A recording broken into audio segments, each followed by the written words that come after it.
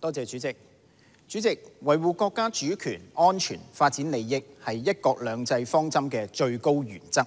亦都係全面準確貫徹落實一國兩制嘅方針嘅最核心嘅議題。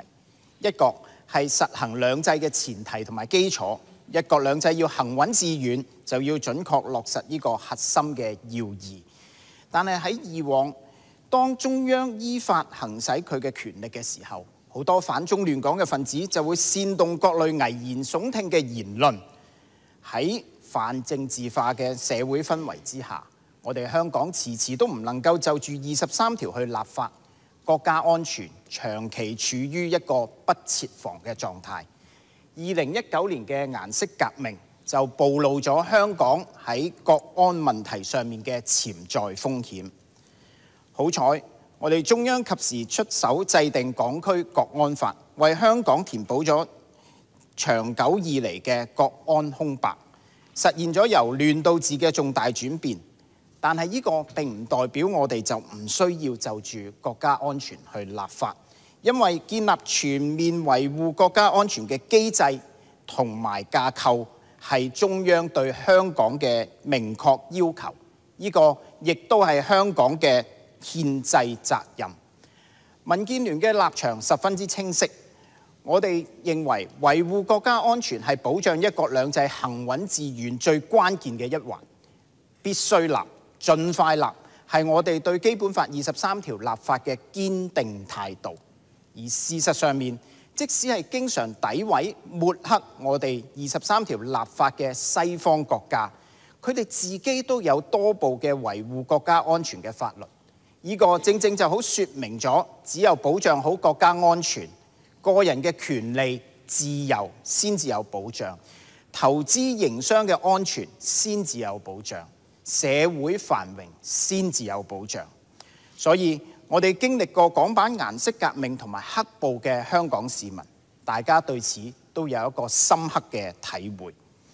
今次特區政府提交嘅維護國家安全條例草案，考量全面、條理清清晰、細節到位。草案亦都充分咁考慮咗市民嘅意見，亦都參考咗外國嘅法例，甚至係參考咗嗰啲經常對廿三條説三道四國家嘅法例。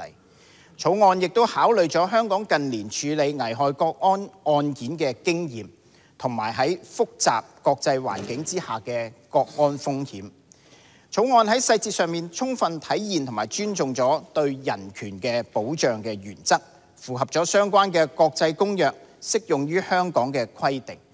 草案亦都接納咗議員同埋市民嘅意見，喺國家秘密相關嘅罪行中加入咗免責嘅條款、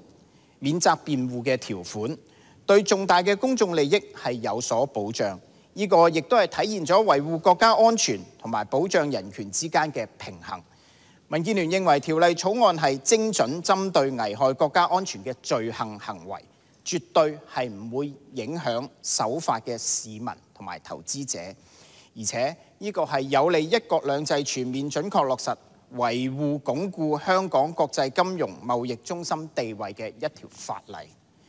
喺今次條例草案喺法案委員會審議嘅過程裏面，我亦都留意到我哋每一位參與審議嘅議員，佢哋嘅思慮都係非常之周全。